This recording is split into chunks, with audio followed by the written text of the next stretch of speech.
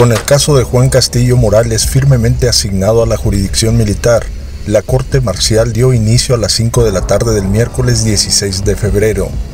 Todo se llevó a cabo en un edificio rentado que servía de casa y oficina al general Contreras, cerca de El Fuerte.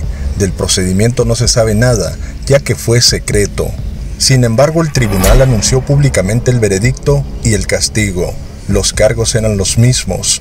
Juan tuvo como abogado defensor al residente local, Luis Martínez, quien tenía fama de defender a los que tenían problemas internacionales en ese tiempo.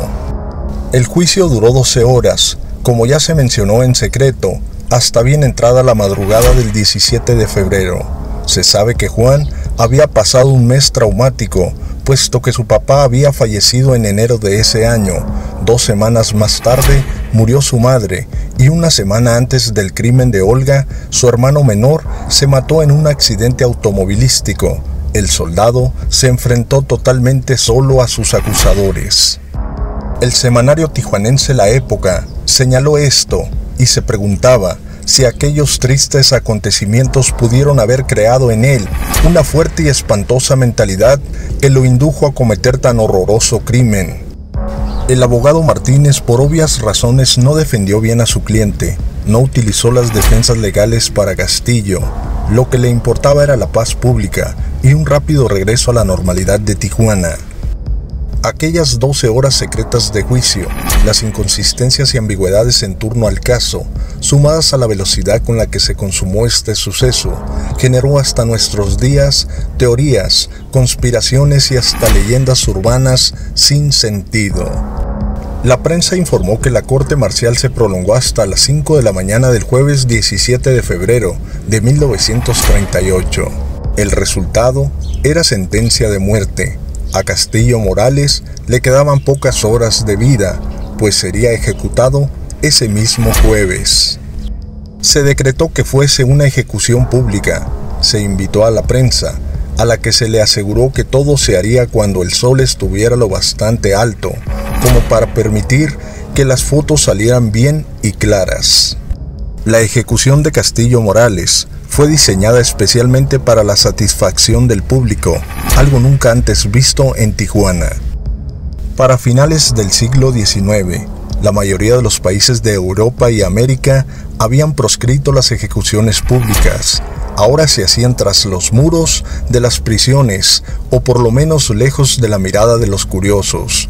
México, igual que otros países, había eliminado las ejecuciones públicas en aquel periodo. Por la época del caso de Juan Castillo, los estados que aún conservaban la pena máxima lo hacían solo para determinados crímenes, como el parricidio o el asesinato con alevosía y ventaja. Esta última muy raras veces era usada o terminaba en pena de muerte. El manejo del caso de Juan, el soldado, iba desde todos los puntos de vista en contra de las tendencias habituales, esto desató serias dudas respecto a la justicia con que se le había tratado. Había llegado el momento de la ley fuga, el momento de que corriera Castillo Morales. En un giro al parecer sin precedentes de la ley fuga, su ejecución se planeó como acto público.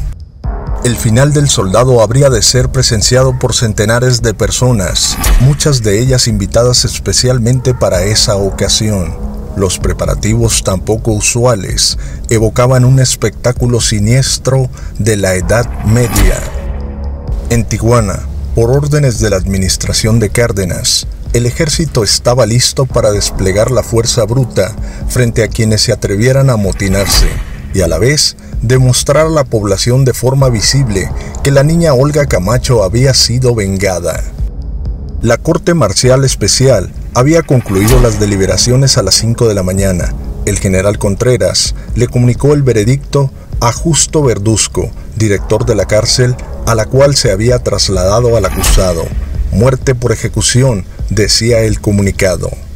Castillo fue escoltado por dos militares a una camioneta negra de la policía. Desayunó y a las 8, 30 soldados lo escoltaron a la misma camioneta que lo estaba esperando.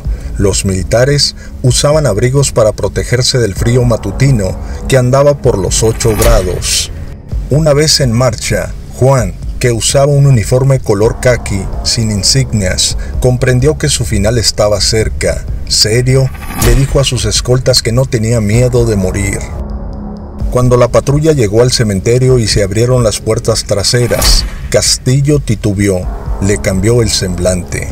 Se comentó que lo que más temía era que lo pusieran en manos de la turba, que lo destrozaran poco a poco, que lo mataran a golpes y pisotones entre todos. Había centenares de personas gritando y esperando el final del drama. Había gente pensativa, silenciosa, otros lloraban en un increíble suceso inédito.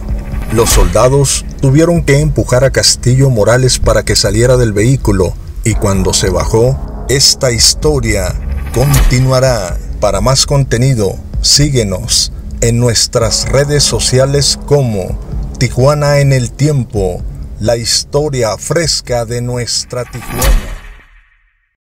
Una vecina dueña de las casas allí venía para acá como a las 6 de la mañana a la casa cuando dicen, oye, no vieron, no vieron aquí, puras son residencias que eran, un garage que había, un garage grande, estaba solo, medio cerrado. Entonces dice ella, no vieron aquí, venía ella buscando, cuando ve, abre la puerta del, del garage y ve un montón de papeles, todo de, paja. Entonces grita, yo estaba adentro, y tenían grita, y grita, aquí está la niña gritando. Entonces yo quise correr, no me dejaron que toda la gente se amotinó. Y sí, la encontraron allí, yo no la vi, yo no, no tuve, ni, no me dejaron, yo sí hubiera ido corriendo. Entonces ya vieron. Entonces empezando a investigar, vinieron del otro lado también, vieron detectives, ya vieron sí, en el cerco estaban las huellas. Fueron dos, porque estaban las huellas del lado de la zona militar. Estaban las huellas ¿no? de, unos, de unas botas. Y al otro lado del cerco estaban las otras encontradas. Así es que alguien le pasó a, a, otra el cuerpecito de la niña y tuvieron que cruzar otro cerco. Atrás con la señora Linares, la, propiedad de la señora Linares. Y ahí estaba el garage, en esa casa, en esa casa vacía. Está, estaba sola esa casa. Entonces, ya, ya, nosotros ya no vimos, porque era el mundo de gente. Ya todo y ya vieron que era de ahí de la zona donde entonces muy de madrugada muy temprano empezaron troques a sacar paja a mí me dijeron no que empezaron les llamó la atención pero nunca creyeron quién iba a creer eso. Quizás era era paja que estaba manchada o algo no pues sabrá Dios. No sé. Así es que ya en ese momento la gente se amotinó y todo estaba el